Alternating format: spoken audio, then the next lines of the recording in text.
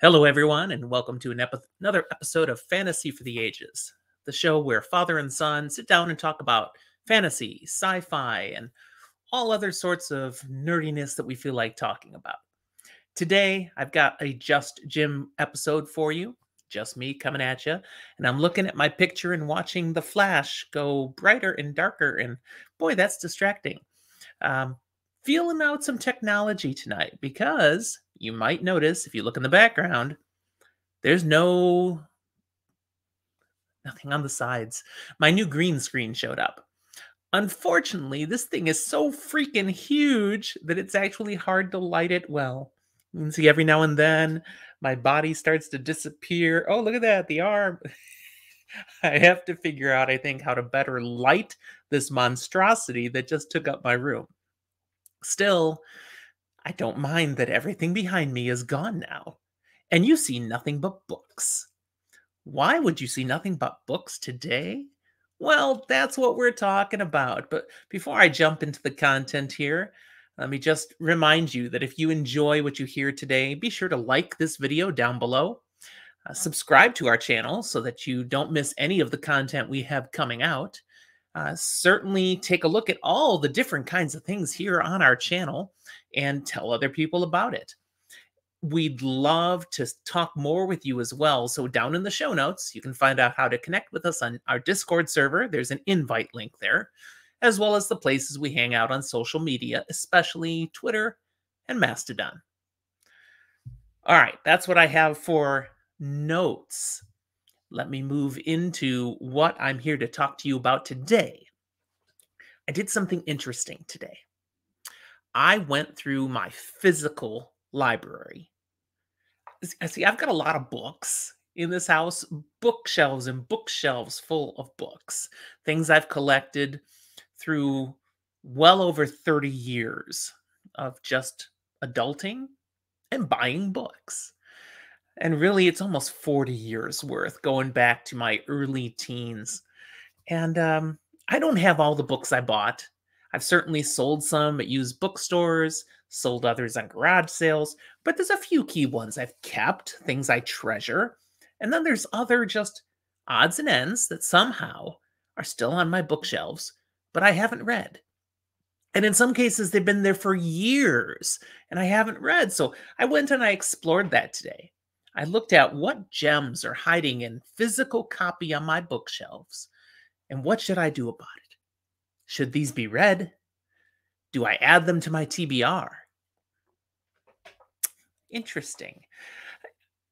I will tell you, my TBR is a little longer now. And I want to share just some of these gems, some of these goodies that I found today. And uh, I'll be interested in hearing what you think of what I found. Oh my goodness, the light going back and forth on me is crazy. Definitely gonna have to figure out how to work with the lighting better. I look a little red now. It's not just my shirt. Oh, see, now it's better. Maybe I need to keep my hands up. I think so. I don't know. All right. So, what did I find when I was searching today? Really, some amazing sorts of books. Okay, first off, one of the books we did on our uh, try reader tournament recently when we talked about some of the best sci-fi that's out there.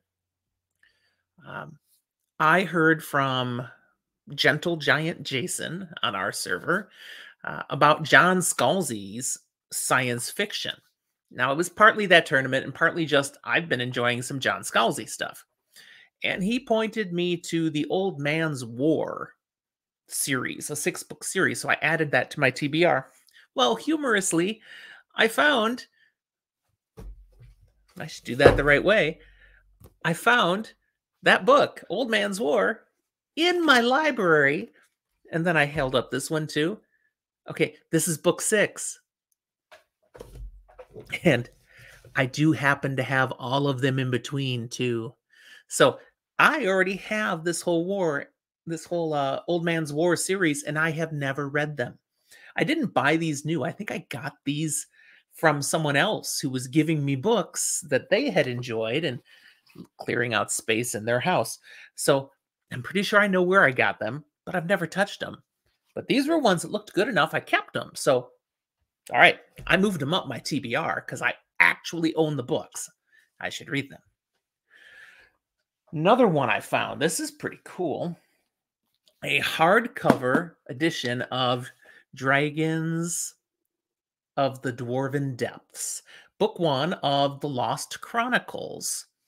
This is a trilogy of books that's set in the same basic timeline of Dragonlance Chronicles, you know, uh, the the original series. So we've got some of these original characters there on the cover.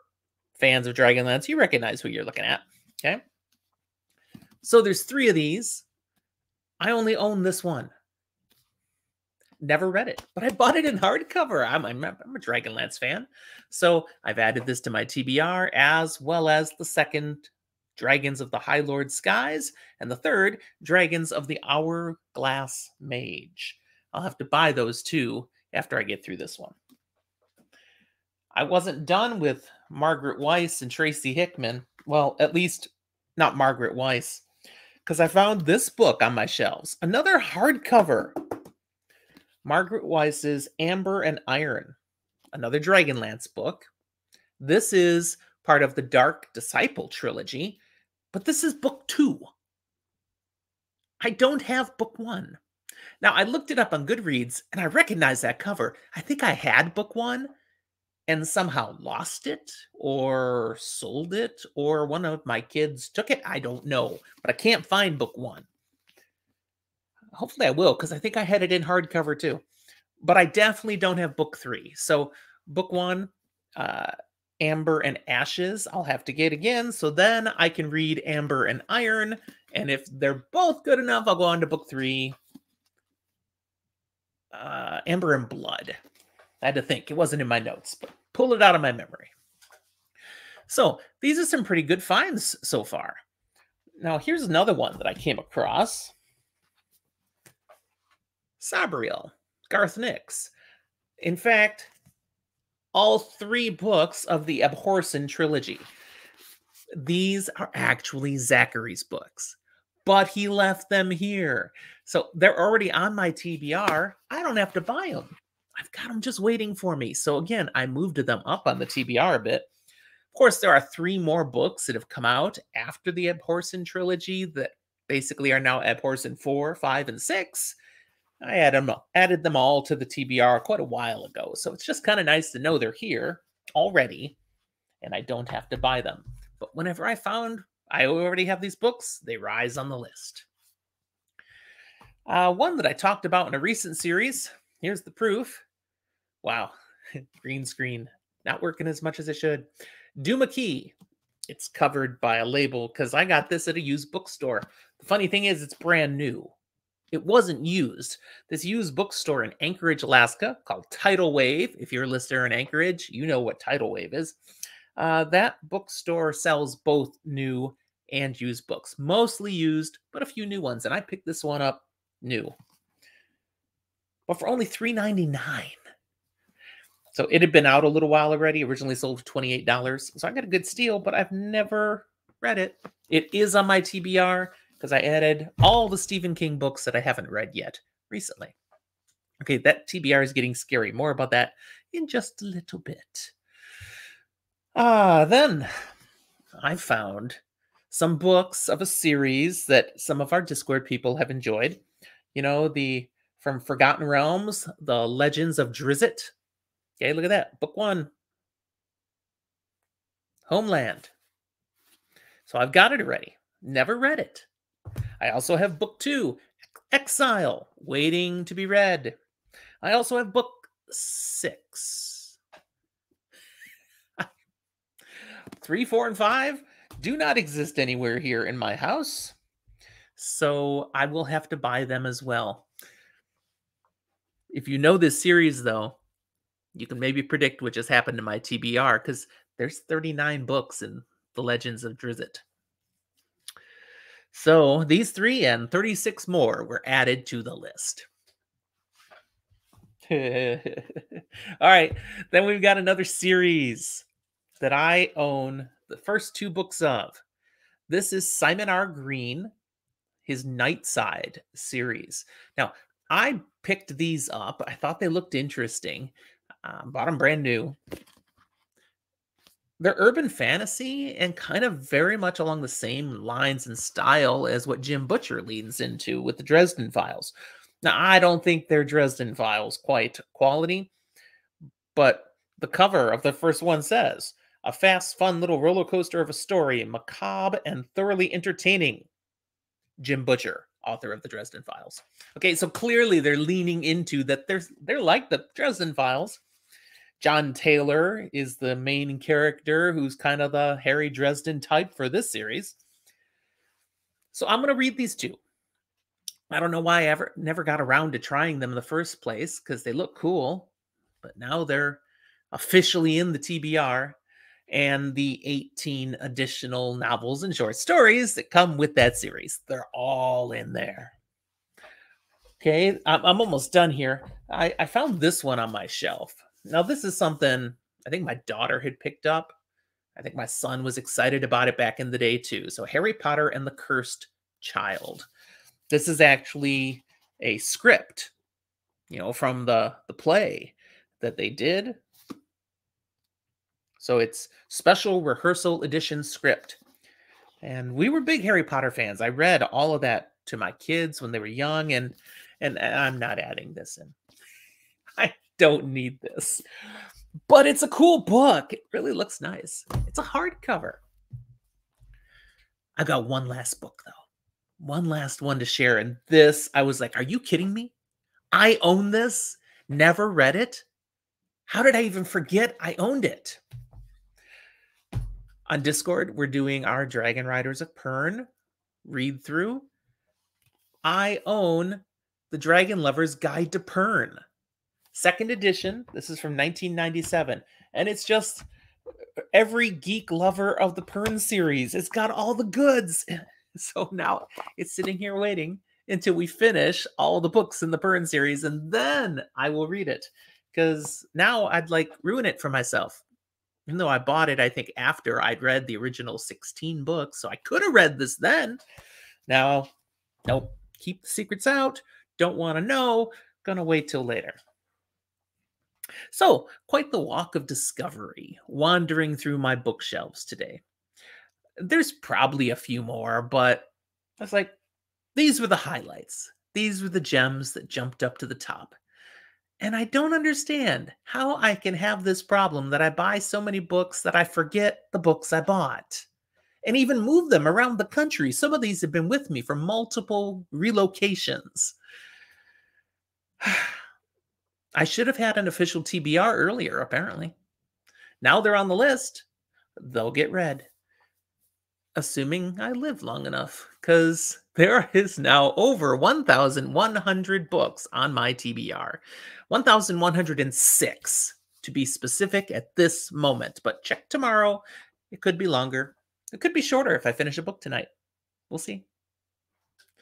That's all I got for you. So it's a short little episode here today, just having a little fun.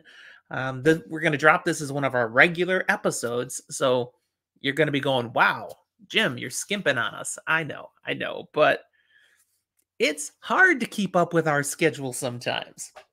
We also have the addition right now that uh, a little bit of a, a curveball perhaps being thrown into our recordings because this weekend, Zach and I have plans to record a couple more episodes. And well, this is when Austin, Texas, where he lives, has been hit with a pretty bad ice and winter storm. He has no power. He hasn't been to work in a few days because the city is shut down. 75% of Austin has no power at this moment. He's not sure when the lights are coming back on it is hard to record when you have no power. Now, I know Spencer with the Fantasy Files did a recording with me, a collaboration one time when he had no power, and he just sat in the parking lot of a Walmart and used their Wi Fi to talk with me. That's commitment, Zach. no, I don't put that on my son. I want him to stay home when the road is a sheet of ice stay home, stay safe, and uh, get that power back on soon. In the meantime, enjoy this short episode, and we'd love to hear what sort of gems you have hiding in your house. Take a look at your book collection. Do you have so many books that you have lost track of what's there? Do you have books that showed up and you don't know how they got in your house? Is there a book gnome who's just depositing things by secret? Do you have book two of a series and have no idea whatever happened in book one?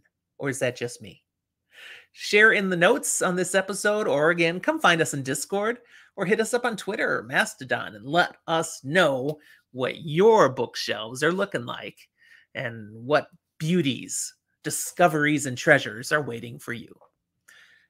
Let me run my outro now to remind you visually of those ways that you can get in touch with us. All the stuff's here. Remember, like, subscribe, join us in Discord, all these other things you can do. And oh, yes, as it shows now, we also have a Patreon. So we would invite you to support us on Patreon to help buy this freaking big green screen because it wasn't cheap and it's just for you. So if you're willing to help out with that, we are willing to take your money. And we'll throw a few other benefits your way. Thank you, all of you who are our faithful patrons. We appreciate it. And we'll talk to you next time.